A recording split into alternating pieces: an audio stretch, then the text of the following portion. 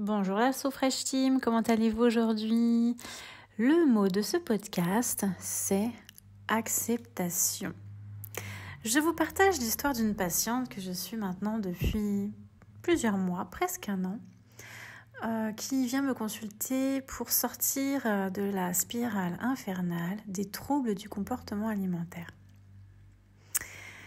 Et accepter, c'est ce que l'on travaille pour sortir de ces impulsions, de ces grignotages impulsifs.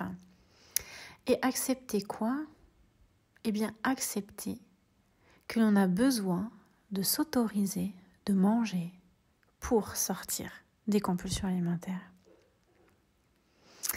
Si j'ai une compulsion alimentaire, ça veut dire que mon inconscient me demande d'aller manger et que au niveau conscient, je ne peux pas le gérer et on dit j'ai craqué. Je craque. Mais en fait, notre cerveau est bien fait, vous savez.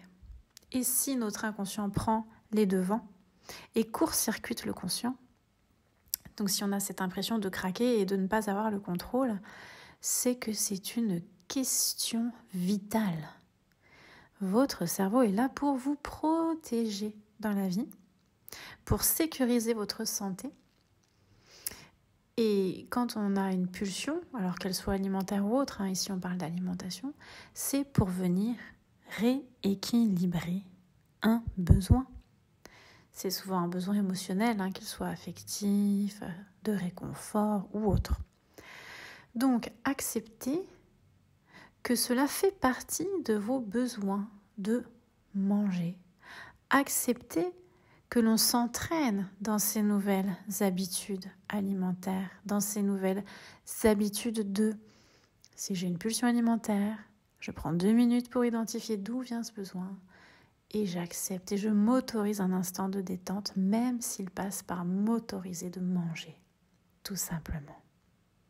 Et accepter que c'est un entraînement dans ce changement, dans cette mise en place, et que ça demande encore et encore d'essayer, de faire, de ne pas y arriver, de recommencer, de faire et d'y arriver au bout d'un moment.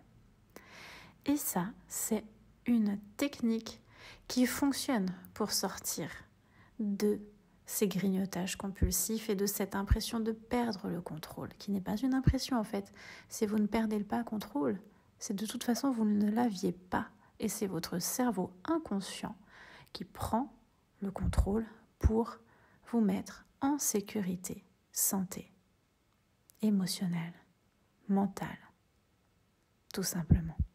Alors acceptez que c'est un mécanisme finalement physiologique, qu'il n'y a rien d'anormal, accepter que cela demande de l'entraînement et accepter de vous autoriser de manger en cas de besoin.